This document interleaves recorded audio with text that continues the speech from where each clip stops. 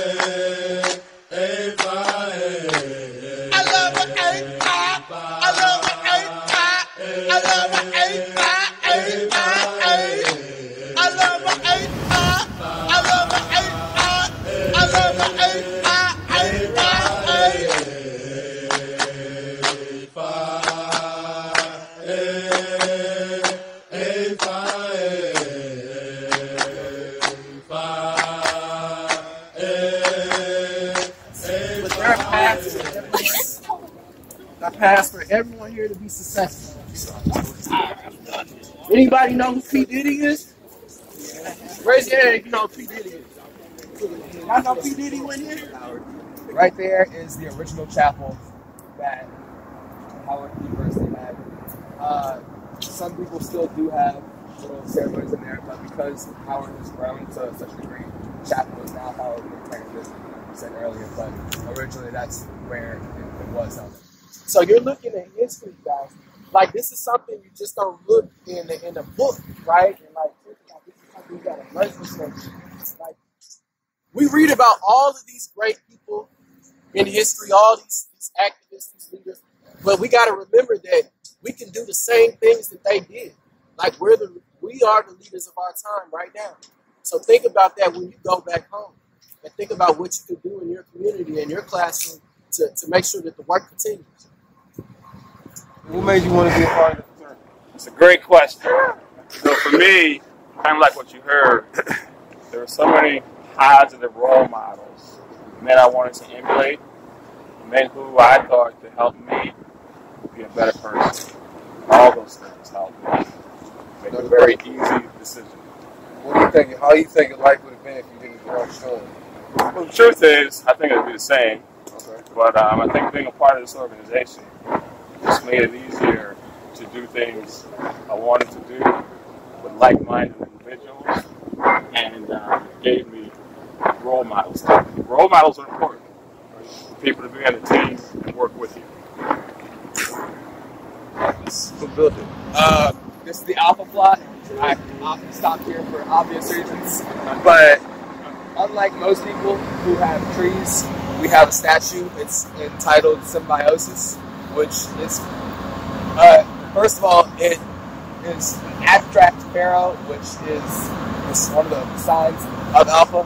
But symbiosis itself means the connection between Howard and the beta chapter office in general. Because without us, Howard would not be the same as we know him.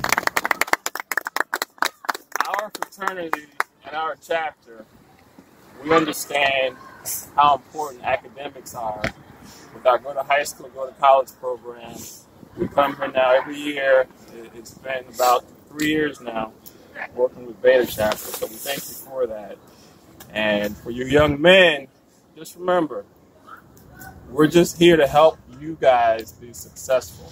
When you leave here, when you return home, your academics, your interactions with your teachers, and all those things are very, very important. So, that being said, I do want to give this to our beta chapter. We want to thank you for all that you do uh, for the chapter, for the fraternity, and we hope to continue with this great relationship that benefits our young men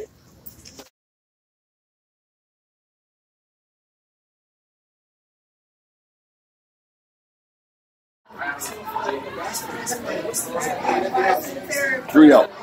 Three point oh. The NCAA says two and a half, 2.5. Howard University, we can play men's basketball, three point oh.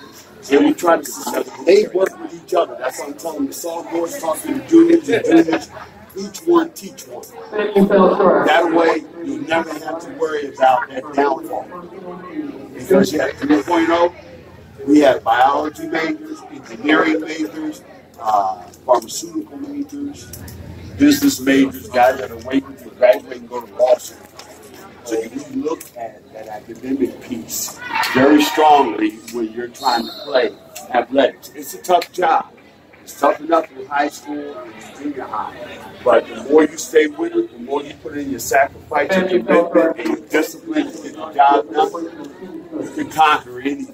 That's the major piece about it. Even in basketball, it's not just the guys out there scoring and winning the game, it's the preparation.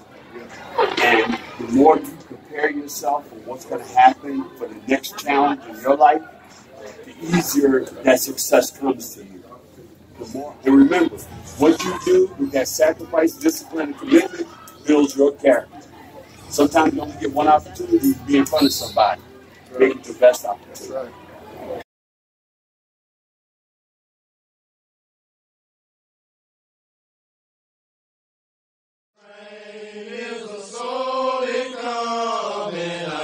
gotta keep on pushing. The Alpha train is slowly coming. I gotta keep on pushing.